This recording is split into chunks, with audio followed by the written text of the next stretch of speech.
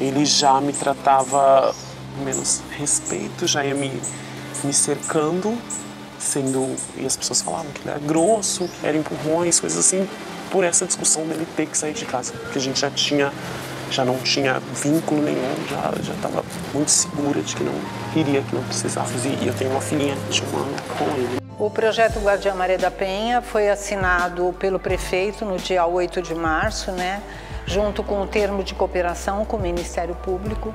Esse projeto visa o acompanhamento de mulheres durante as medidas protetivas. Esse acompanhamento é feito pela Guarda Municipal. Essas visitas serão feitas sempre por uma dupla, né? um guarda e uma guarda, com viatura da guarda identificada com o logo do projeto. Nós fizemos folders de orientação a essas mulheres, então quando a guarda chega, Além do relatório, eles vão entregar um folder explicativo o que são medidas protetivas. É mais uma conquista, além de tantas outras que a gente tem, né? E o objetivo é dar maior segurança para as mulheres e principalmente denunciar quando as medidas protetivas não são cumpridas.